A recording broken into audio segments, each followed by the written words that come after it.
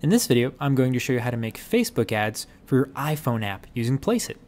So the first thing we want to do is go to placeit.net and on the top left hand side of the menu bar under digital mockups, we want to move down to where it says Facebook ads and click on that. So we have a bunch of different image uh, mockups that we can use to make our Facebook ads. We also even have some video ones if you want to check those out, but we do need to record our screen for those. Right now, we're just going to look at the image one. So we're going to use this second one on the left to make our Facebook ad. All right. So the first thing we can do is change these two lines of text. So I'm going to go ahead and do that.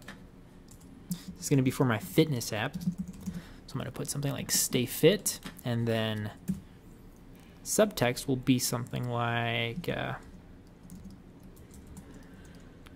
download download it now. All right. So under each line of text, we can actually select the font that we want to use for that line. So I'm just going to go ahead and click on it. And we get this drop down of all the fonts we can use. So let's see here. I think I'm going to try this one and we get a, an immediate preview of what that actually looks like. So we can just play with this until we find the one that we like. Looks pretty good. We can also click on this button next to the text button and change the color of the font. So we have all these different options. And if we want to see all the options available, we just click on more. We can be really precise with the colors and just pick any one that we like. Now, if you happen to know the hex code that you want to use, you can just type that in here and click choose, and you can use that color as well.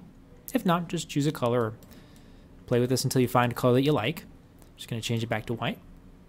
Right, I'm going to leave this font as it is and the color as well. So now I'm going to upload my image. And I do that by clicking up here where it says upload image. Right. So I have it on my computer.